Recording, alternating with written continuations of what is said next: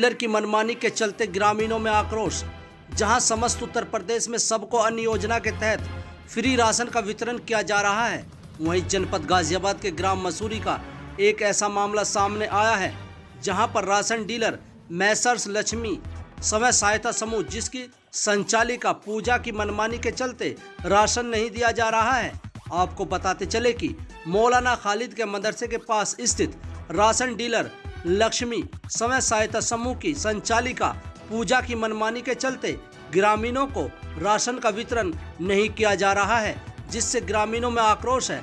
वहीं ग्रामीणों का आरोप है कि राशन डीलर द्वारा समय पर राशन का वितरण नहीं किया जाता और अगर इसकी कहीं शिकायत करने की कहते हैं तो डीलर यह कहती है कि जो बिगाड़ा जा सकता है वो बिगाड़ लो, हमारा कुछ नहीं हो सकता। वहीं राशन लेने के लिए लोग दूर दूर से आते हैं, जिससे उन्हें काफ़ी परेशानियों का सामना करना पड़ता है। केटी लाइव न्यूज़ के लिए समीर खान की रिपोर्ट।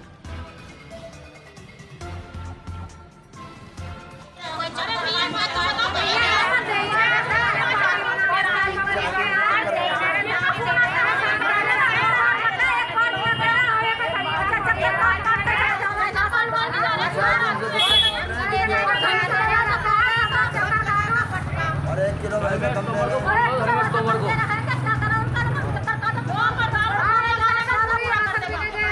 नाम क्या आपका? मेरा नाम जाकिर अली है। ये राशन की परेशानी की वजह से पब्लिक यहाँ खड़ी हुई है। इन्हें पाँच तारीख पर राशन बटना चालू होता है यहाँ। आज होगी इक्कीस तारीख।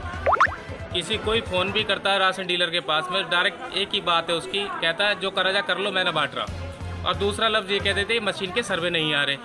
ये मारकपुर से मसूरी से अंदर से आती है बेचारी। जा, जा, जाफ़र कॉलोनी से इनसे आ रही है पब्लिक परेशानी में धूम में खड़ी हुई है। ये लोग ना तो किसी की सुनवाई कर रहे ना कुछ। और कहते तो उल्टे बोल के और जवाब देते हैं। इन्हें लोग अच्छा जिस पे जो करा है कर लेना तुम हमारा। जय कौन सी? ये मसूरी है मदरसा रोड। नाम क्या अम्मा आपका? जीना।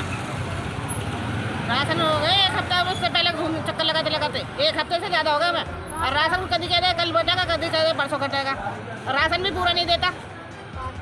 पाँच तारीख से पहले होली से पहले सबका बट चुका है वहाँ स्टेशन पर